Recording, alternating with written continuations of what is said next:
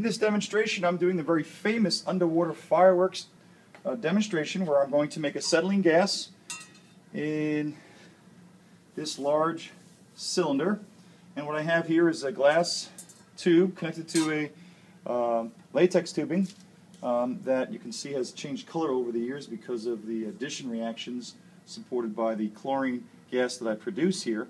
So what I'm using, and most people use um, uh, bleach or sodium hypochlorite.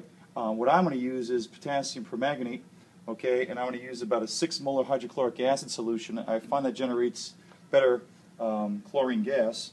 And of course, um, the reaction is between the acetylene gas that I produce by the reaction between the calcium carbide that I drop in water. So we're going to get bubbling of the uh, calcium carbide, and then I'm going to generate chlorine gas, and then the chlorine gas bubbles collide underwater, they are going to uh, react exothermically and give off light. And hopefully it stays under the water. Now one problem that I've had over the years with this demonstration is my water is pretty hard, so I'm using distilled water for this demo. Uh, that might uh, work for you as well. So in any case, let's start the generation of the chlorine gas, and the chlorine gas with the potassium permanganate. Potassium permanganate is the oxidizer, okay, and it's going to create the chlorine from the um, hydrochloric acid, so Cl negative goes to Cl2, all right, and it's basically going to um, become a um, zero charged um, atom as the negative one is lost to the potassium permanganate who pulls it out of the hydrochloric acid. So let me add some hydrochloric acid.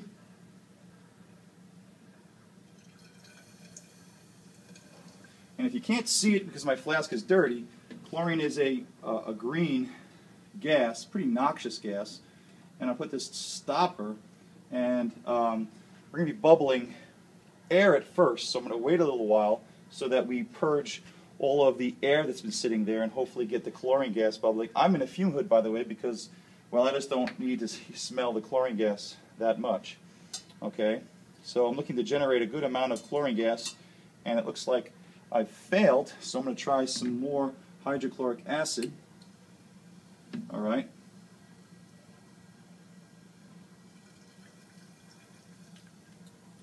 Get that going.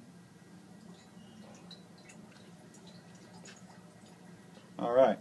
So we got a good uh, vicious amount of hydrochloric acid. Looks like I got some fluid in my tube too, which is causing a problem. I'm going to guess that we purged it, so I'm going to try some calcium carbide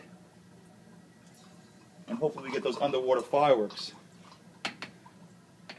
that I talked about. Now I'm getting some on top, and that's not where I really want them. We want some on the bottom. There we go. Now we're getting them on the bottom. On the top and the bottom. Make sure I generate more of the chlorine gas.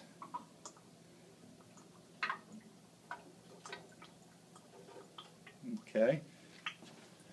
Let me drop a little bit more of calcium carbide to get more acetylene working. And we should see more, more brilliant type of reaction here. So as the acetylene bubbles hit the chlorine bubbles, we get that underwater. Now we're getting some incomplete combustion up top, so you're seeing some uh, reaction above. I'm seeing less under the water. But it is a touchy bit of a reaction. But you're seeing the incomplete combustion, the carbon being made up here. Okay? And it's like I have stopped producing a lot of chlorine gas. So I'm going to recharge that by a little bit more hydrochloric acid to see if we can continue the brilliance of this.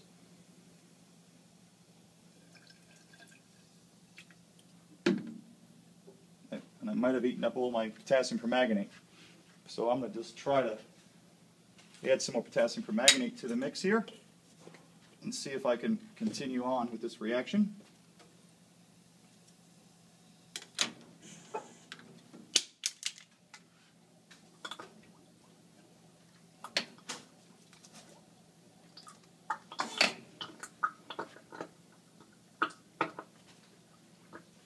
And you get the idea of the reaction.